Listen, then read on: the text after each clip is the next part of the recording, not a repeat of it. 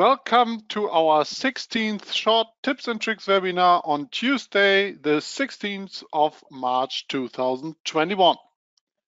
My name is Sebastian Bode and as always, I would like to welcome all participants from all over the world, as well as my colleagues Claudius and Dirk from our service office in Bautzen and from home office.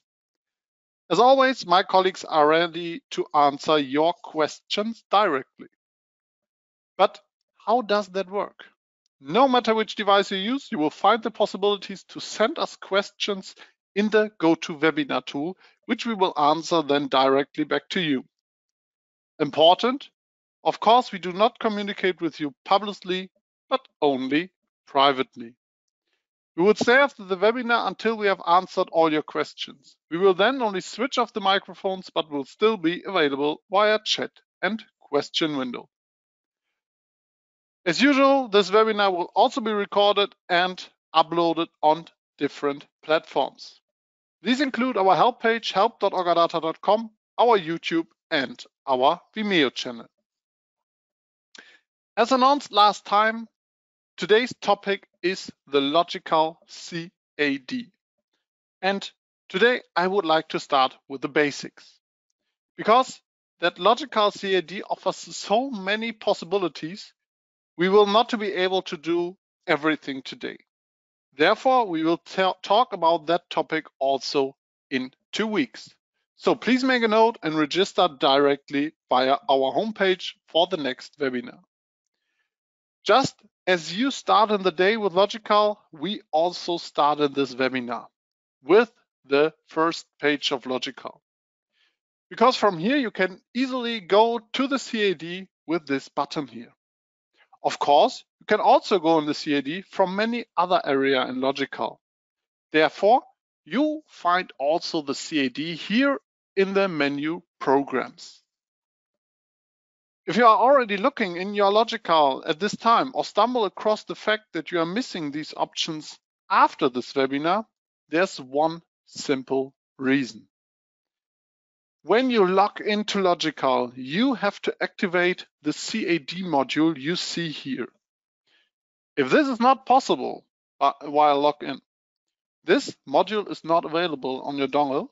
In that case, please contact us directly and we will be happy to help you.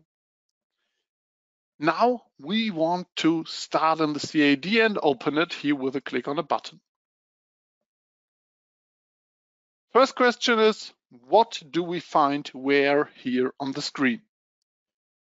The drawing functions are divided uh, in here the left hand side and here in the upper area. The left hand area mainly contains functions such as creating lines and shapes, while the upper area contains yeah, functions like dimensioning and the editing functions. In addition, there are, of course, also many setting options in the CAD. We will go into these more detail later, but one thing should be said before.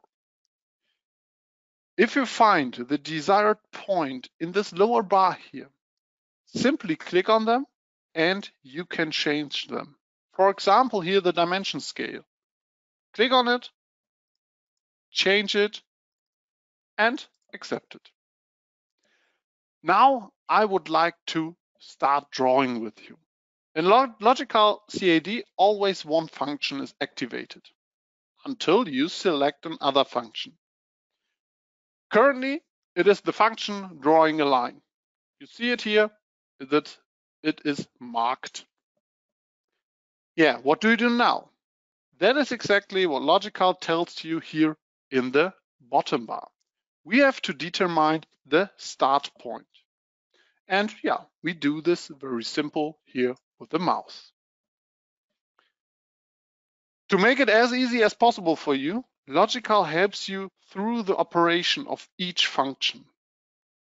And it does this by displaying the next steps here in this yellow box. So now we have to determine the next point. Therefore, you have two options. You select the endpoint or the next point with the mouse. This works really wonderfully if the endpoint is to be based on existing drawing elements and so on. Then you simply click on it, yeah, and you can lean back.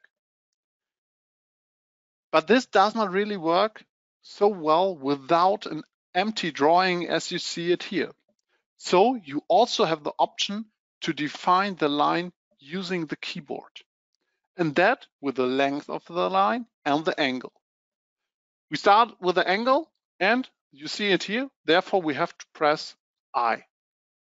Yeah, and then you simply enter, enter the angle you, you want. Here, the following is important. 0 and 360 degree are horizontal to the right, 90 degree are upwards, and everything else, yeah, then follows.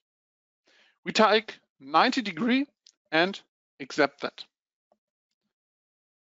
LogiKal adjusts here the preview and uh, yeah, this line is not yet drawn because we still want to change the length here. We can do this quite simple by entering the dimension.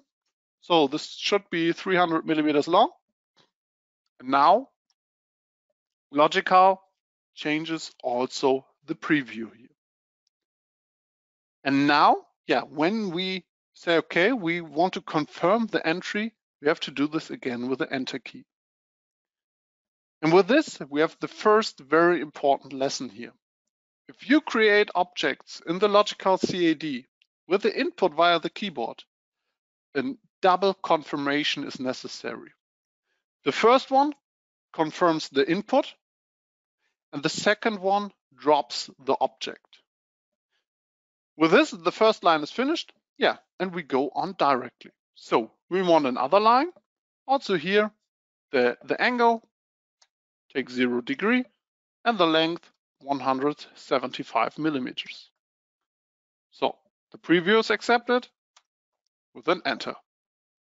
And again, the angle 270 degree and a length of 300 millimeters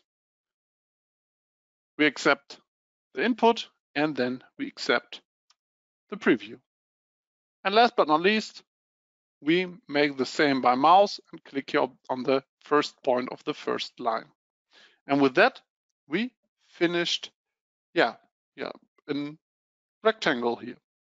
With this exactly, you can create a free form with several lines in no time at all. If you have finished your form, it's very easy. One right click here.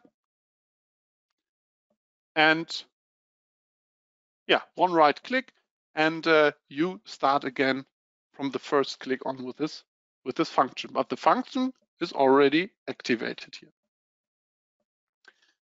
For standard shapes such uh, as this rectangle you see here, there are of course also functions that make the input much easier. Here you have several options to use these functions or to find these functions. At first, you can find them here. You see it here as an example, or you go here directly in the drawing function and you find here the function rectangle. And the next point, we want to draw another rectangle. And the first point, LogiKal ask here for this, should be the corner of the first rectangle. And the good point is LogiKal jumps directly to this point. But LogiKal not only captures corners like this, LogiKal captures also other points. And where you can set which one these are, that comes now. For this, we go here directly into the settings. You, you can set basic defaults such as line colors, line type, and so on and so on. Also important is the setting here of the of the step size, which you can be set higher or lower depending on the accuracy. But we are now mainly interested in the user settings here. As on other occasions, I will now not go through all the setting options here, but I will go into a few of the most important ones. First, I would like to start here in the display part. Display the position at crosshair. Of course, there's also a coordination system in the LogiKal CAD. I will show you exactly how you can use it a little bit later. If you want to use this option with a co coordination system more often, then definitely makes sense to display the position permanently here on the cursor. Also, you may have stumbled upon the fact that my background is yeah, light, is white. Of course, this is also up to you. Here, you can decide if you want to choose the background should be light or yeah, dark. The next area is the area of the object snap. We now, with that, we now come exactly to the point I mentioned earlier. The direct targeting of certain points. Here you can set up that individually for you. Here you can choose, for example, whether you want to have intersection points, center points, and so on and so on. Feel free to try out what you really need. If you are not satisfied with the distance from which the points are jumped to, simply set here in bigger or in smaller uh, value. Yeah, and then it should work as you need it. One last point here in the settings is if this yeah jump to the points do not work in your in your CAD, please make sure that the, the option align at objects is activated. And with that, this should be enough with the settings and we now finally want to draw a rectangle. So we take here the first point and open the rectangle, yeah, to the where we want to have it. As we have already learned with a line, the help here appears in short time without moving the mouse. Accordingly, there's also the possibility to find to define the dimension of the rectangle directly with the keyboard. So we enter in width of 100 here. Please do not be confused by the negative, yeah, by the negative uh, point here. This only describes the direction of the dimension from the insertion point. So to, the right and up is positive, and to the left and down is negative. Yeah, just like in the coordination system. Now we enter an height of 330 and accept that. Also here, at first only the preview, and with the second, we accept the preview and have here a fine rectangle. If you have read our invitation mail, you're probably already awaiting the possibilities of the wall connections. In order to be able to show these in detail next time, we first need a complete drawing, and that is exactly what we have started here to do. Of course, such a drawing also includes hatchings, and we will now take a look at them. There are various options for hatching, but since we are only dealing with simple rectangles here, we will use the simplest, the simplest option, this one, hatch rectangular area. Simply select here the filling you want to and set the distance between the line, like yeah, five millimeters here. We accept that. And then we can take our drawn rectangle. First point, and we open this filling to the other point. And we do that again with another filling. Also here, this point, and we open this to that point. Everything with an easy left click on the mouse. Okay, now it looks uh, nearly like a good wall connection, but the plaster is still missing on the inside and outside. Of course, we can draw also it, uh, the, the outline lines and then hatch the surface. But however, drawing plaster is one of the most frequent drawing tasks here and should therefore be as easy as possible. That is why there's a simple special function for this, and you can find this also here in the drawing functions. First of all, you have to define the plaster thickness. We take here 20 millimeters. And yeah, even if I repeat myself, LogiKal guides you through the functions. You see here, determine the start point. Okay, we do that. And also here opens the, the yellow window. We have to put this the next point. And also here, the next point. And if you are not right, as you see it here, it's no problem. One click on the right mouse and you can you go one step back. Now it is right. And yeah, we can close this function with an easy click on the escape button on the keyboard. And the first plaster is ready here. Now we still need the plaster on the interior side. Okay, okay.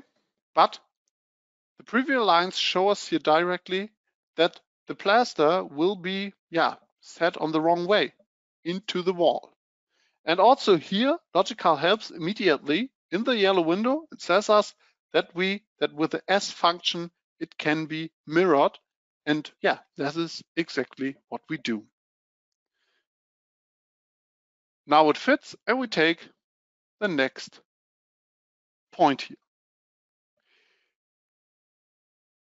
Nevertheless, plaster can be drawn directly in such a way that it fits here to the profile window later because the, the profile of this window is now missing here. On the one hand, as in other, uh, yeah, as in other many functions, it is possible to enter the dimension directly here by keyboard. I would like to take this point to show you the possibilities of the coordination system. In many CAD programs, this is the coordination, coordination system is fixed and working with it requires a lot of practice. LogiKal CAD, it is yeah much easier because you can easily adjust the origin of the coordination system to your needs. And this is possible even while the plaster function is still active. So we know that we want to use a 75 millimeters thick profile, which is yeah set down with the outer edge of the wall. The plaster therefore ends 75 millimeters before the outer edge. Therefore, take this point and press F9. And with that, the base point of the coordination system is now set here. And then we can work with the coordination, coordination system. Easily say, okay, we want to go 75 millimeters on the x-axis to the right. We put that here in, press X and the dimension, enter it. Also here only a preview and enter again. Click on escape and you're ready.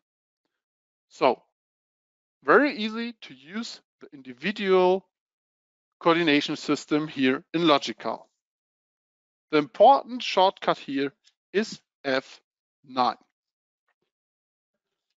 And now it looks more and more like a very nice wall connections.